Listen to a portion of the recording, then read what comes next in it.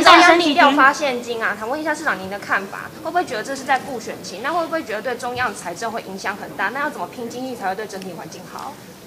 在整个这个税收多出以后，给我们的民众，我相信这个是一个必然。最重要在过程当中如何带动我们的市民经济，让市民经济能够起飞。因为去年疫情影响到最重要的是最辛苦的基层的在第一线打拼的所有市民朋友想辛苦。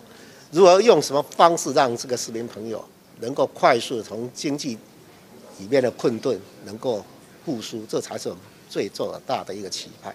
所以，其实政策在过程当中一定要把这个部分放到最重要位置来看。